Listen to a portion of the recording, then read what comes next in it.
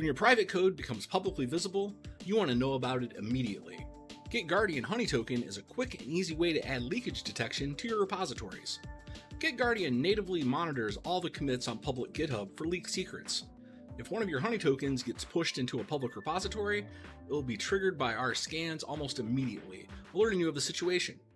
You'll get a detailed email informing you that it's been publicly exposed, and you'll see the name of the repository that it was in, along with a link there.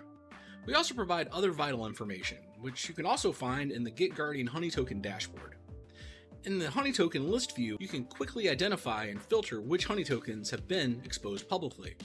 Clicking into the detail view will show you the event log, giving you the timestamp, IP address, and user agent who triggered it, as well as what action they were trying to take. With the GitGuardian Honey Token IP tagging rules, you'll be able to quickly see which events were triggered by the GitGuardian public monitoring IP and which came from other users.